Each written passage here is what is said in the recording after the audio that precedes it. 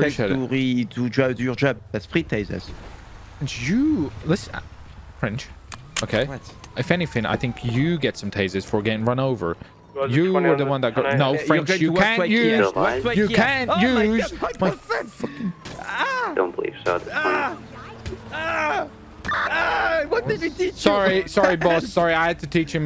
You know, I was ride along. He got out of line. He got out of line. Sorry, sorry, you had to see that. Just discipline him.